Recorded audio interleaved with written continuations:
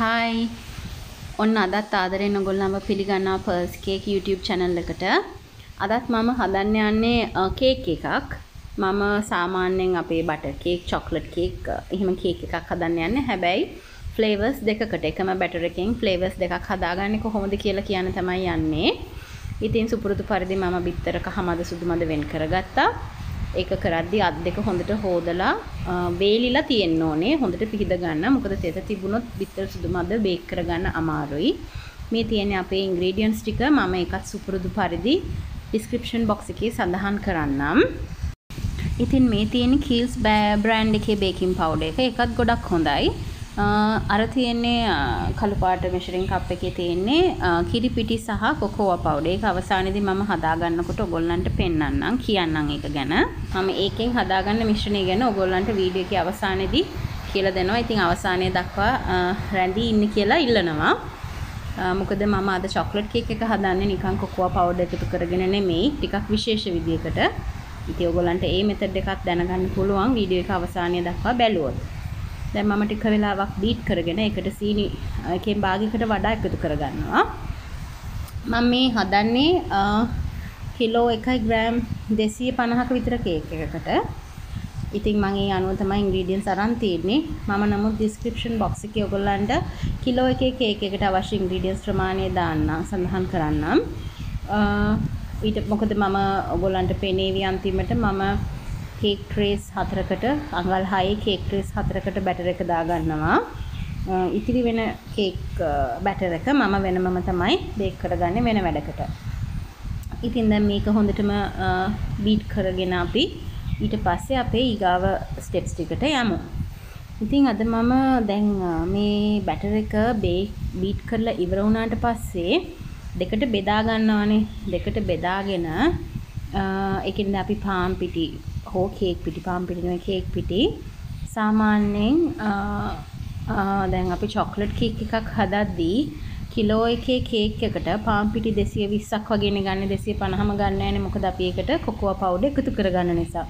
නමුත් අපි අද එහෙම කරන්නේ නැහැ. අද අපි කේක් පිටි ඒ ප්‍රමාණයම තමයි අරන් තියෙන්නේ.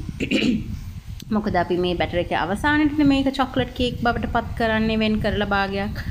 එතකොට ඒ වෙනුවට මම එතකොට අපිට ගොඩක් දැන් අපි බිත්තර සුදු මද එහෙම වෙනම බීට් කරලා ගන්නකොට අපිට අවසානයේ ගොඩාක් බීට් කරන්න කලවම් කරන්න බෑ. එතකොට අපි බිත්තර සුදු මද වෙනම බීට් කරගත්ත එකේ කිසිම තේරුමක් නැති වෙනවා. මොකද ඒ බැටර් එක ආයෙත් බහිනවා. අපේ ආ බබල්ස් ඔක්කොම ගිහිල්ලා බැටර් එක ආයෙත් බහිනවා.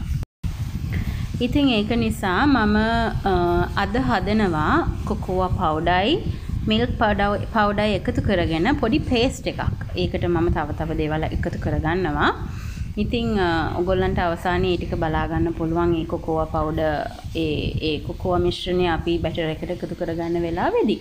ඉතින් එහෙම හැදුවම අපේ ඒ කේක් එකේ පාන් පිටි මේ වැඩිපුර ආවා නැත්නම් කොකෝවා පවුඩර් වැඩිපුර තියෙනවා කියලා කිසිම වෙනසක් නැහැ. වෙනදටත් වඩා චොක්ලට් කේක් එක ගොඩක්ම සොෆ්ට් හරිම රසයි.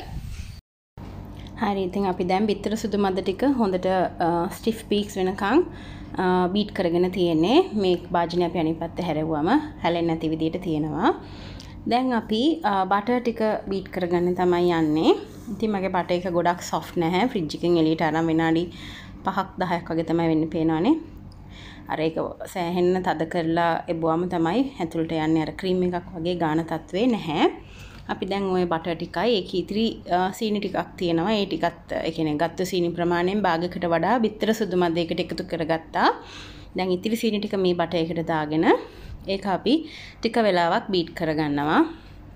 පොඩ්ඩක් ඒකේ වොලියුම් එක වැඩි වෙලා එනකන් නිකන් ඒක තේරෙනවා කල එක ලයිට් වෙලා එනකන් විනාඩි 4ක් 5ක් වගේ එකට බීට් කරගන්නවා සීනි ටිකයි බටර් එකයි. දැන් බටර් එක බීට් කරගන්නවා විනාඩියක් විතර ඊට පස්සේ සීනි ටික එකතු කරගන්නවා. ඊට පස්සේ බටර් එකයි සීනි එකත් හොඳටම බීට් වුණාට පස්සේ අපි ඒකට බිත්තර කහමද ටික එකින් එක එකතු කරගන්නවා. අද මම බිත්තර 6ක් පාවිච්චි කරනවා. බිත්තර 6න් පහක් හොඳට මම වෙන් කරගත්ත කහමද සුදුමද. අන්තිම බිත්තරේ මං බිත්තර කඩනකොට කහමද එකතු වුණා. ඉතින් මං ඒ බිත්තරෙත් කහමද කොටසට තමයි එකතු කරගෙන තියෙන්නේ. ඉතින් දැන් බිත්තර කහමද කොටස් හයක් තියෙනවනේ. ඒක මං කොටස් තුනකට තමයි මේකට මේ බැටර එකට එකතු කරගන්නේ. එක කොටසක් දැන් මේක හොඳට බීට් වුණාට පස්සේ බිත්තර කහමද්ද එක කොටසක් එකතු කරගෙන ඒකට එකතු කරගන්න ඒක බීට් කරගන්නවා විනාඩි එකක් එකහමාරක් විතර. ඒක හොඳට කම්බයින් වෙනකන් බීට් කරන්න ඕනේ. ඊට පස්සේ දෙවෙනි කොටස එකතු කරගෙන ආයෙ හොඳට විනාඩියක් විතර බීට් කරගෙන තුන්වෙනි කොටසත් එකතු කරගෙන ආයෙ විනාඩියක් විතර හොඳට බීට් කරගන්නවා. එතකොට ඊට පස්සේ තමයි අපි පැණිලත් එකතු කරගෙන මේක තව තප්පර ගානක් බීට් කරගන්නේ. වැනිලා එකතු කරගත්තට පස්සේ ගොඩක් වෙලා බීට් කරන්න එපා. මේක අපි තප්පර 10ක් විතර බීට් කරගත්තාම ඇති.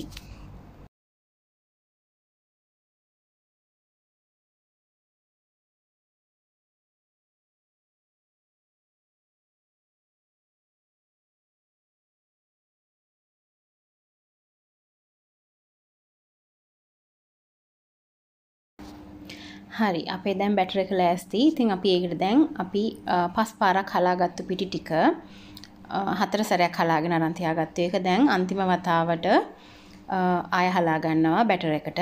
මේ හැඳි තුන තුන වගේ තමයි මම දාගන්නේ. මගේ කේක් පිටි මිශ්‍රණයේ බේකින් පවුඩර් එකතු කරගෙන තියෙනවා. ඒ දෙක මම හතර වතාවක් හලාගෙන අරන් තියාගන්නවා කේක් බැටර් එක මික්ස් කරන්න කලින්. හොඳට වහලා හුලං වදින්න නැති වෙන්න වහලා අරන් තියාගන්නේ. අන්තිමට මම කේක් බැටර් එකට මික්ස් කරන වෙලාවේ ආ එක සැරයක් හලා ගන්නවා. ඉතින් මගේ වීඩියෝස් පළවෙනි වතාවට බලන කෙනෙක් නම් බලන්න ඇති අය මෙච්චර හලන්නේ කියලා. අපි කේක් පිටි ටික හලන තරමට තමයි කේක් එක ගොඩක් සොෆ්ට් වෙන්නේ. ඉතින් කේක් එක සොෆ්ට් වෙන්න තවත් හේතුවක් වෙනවා. ඒක. ඉතින් වෙලා නැත්තම් තුන් පාරක් හැලුවට කමන්නේ නැත්තම් ඉතින් මේක හත් හත් අට වතාවක් හලා ගන්න පුළුවන් නම් ගොඩක් හොඳයි. මම නම් හලාගන්නේ පස් වතාවයි. ඉතින් මම දැන් ඔක කේක් මිශ්‍රණයෙන් කොටසක් දාගන්නවා. ඊට පස්සේ සොරි පිටි මිශ්‍රණයෙන් කොටසක් දාගෙන විස්ක් එකකින් ෆෝල්ඩින් ක්‍රමයට කලවම් කරගන්නවා. ඊට පස්සේ මම ඔකට බිත්තර සුදුමද අපි බීට් කරලා අරන් තිබ්බනේ. ඒකෙනුත් කොටස කොටස දාලා ටික ටික දාලා හිමීට අනා ගන්නවා.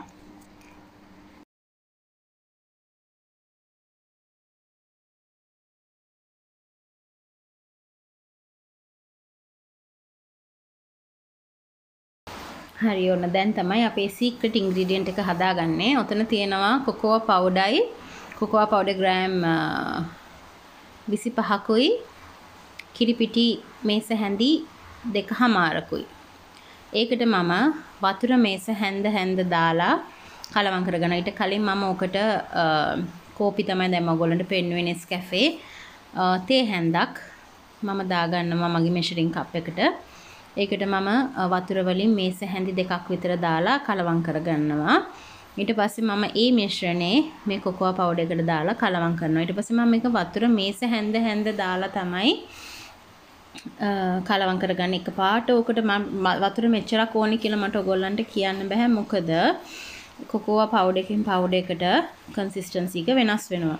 ඒත් ඔයගොල්ලෝ අන්තිමට බලන්න මගේ පදම මේක පේස්ට් එකක් වගේ තමයි එන්න ඕනේ. ගොඩක් දියාරු දෙයක් නෙමෙයි පේස්ට් එකක් වගේ එන්න ඕනේ. ඉතින් ඔයගොල්ලෝ බලා ගන්න අන්තිමට මම මේක හදාගන්න පදම කොහොමද කියලා.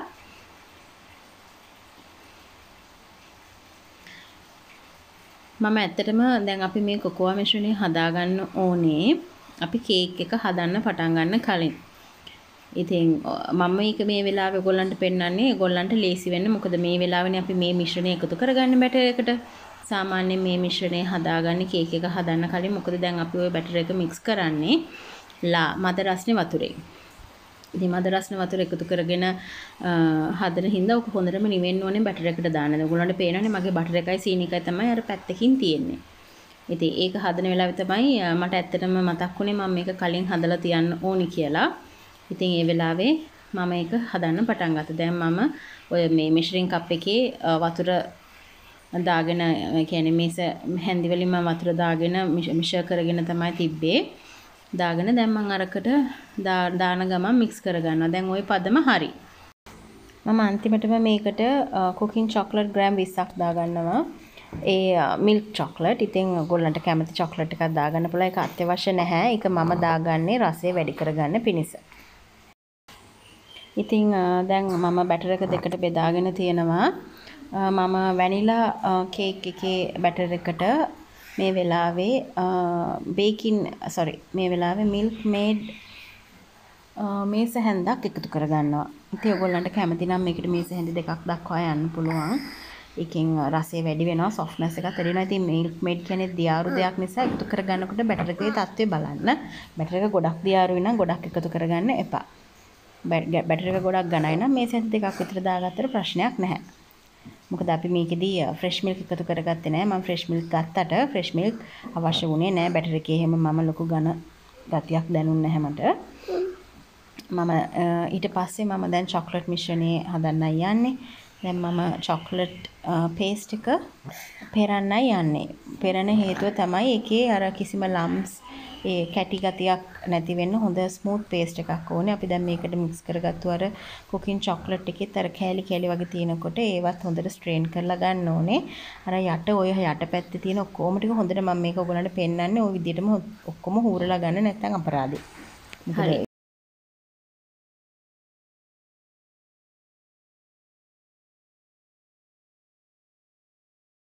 අපි දැන් ට්‍රේස් හතර මම හොඳට තෙල් ගාලා ඔයිල් පේපර් දාලා තියෙන ඔයිල් පේපර්ස් තියනවද කියලාවත් පේන්නේ නැහනේ. ඒ තරමටම අර ඒක පිළිවෙලට ගාලා තියෙන්නේ. ඊට පස්සේ මම මැන ගන්නවා ග්‍රෑම් 250 250 වගේ තමයි මම එක ට්‍රේ එකකට දාගන්නේ. වැනිලා එකෙන් දෙකකුයි චොක්ලට් එකෙන් දෙකකුයි. මොකද මම ෆෝර් ලේයර්ඩ් කේක් එකක් තමයි හදන්නේ. ඉතින් ওই විදිහට දාගෙන මම දැන් oven එක පිටි මික්ස් කරන්න පටන් ගන්න වෙලාවේ ප්‍රී හීට් වෙන්න තිබ්බා. එකසිය හැත්ත පහට මම විනාඩි දහයක් ප්‍රී හිට් වෙච්ච අවන් එකේ එකසිය හැත්තෑවට වගේ විනාඩි තිහක් වගේ තමයි මේක බේක් කරගත්තේ මොකද මේක චූටි ප්‍රමාණයක් නේ තියෙන්නේ පොඩි ප්‍රමාණයක් ට්‍රේසුත් පොඩි එතකොට අපි මේක ගොඩාක් වෙලා බේක් කරන්න අවශ්‍ය වෙන්නේ නැහැ 170ට විනාඩි 30ක් වගේ තමයි මම බේක් කරගත්තේ. ඉතින් ওই තියෙන මගේ කේක් ටික සුපර් සොෆ්ට් එකට තිබුණා. ඉතින් ඉතින් ඔයගලන්ට බොහොම ස්තුතියි මගේ වීඩියෝස් බලනවට. ඔගොල්ලන් යම්කිසි ප්‍රයෝජනයක් ලබනවා නම් වීඩියෝස් හොඳයි නම් ලයික් කරලා කමෙන්ට් එකක් දාලා ෂෙයා කරන්න සබස්ක්‍රයිබ් කරන්නත් අමතක කරන්න එපා ළඟම තියෙන බෙල් අයිකන් එකත් ක්ලික් කරන්න. එතකොට මම වීඩියෝ එකක් අප්ලෝඩ් කරපු ගමන්ම ඔයගොල්ලන්ට දැනගන්න ලැබෙනවා. ඉතින් බොහොම ස්තුතියි කියලා ආයෙත් කියනවා. මම එහෙනම් ගිහිල්ලා එන්නම් හැමෝටම ශලෝම්.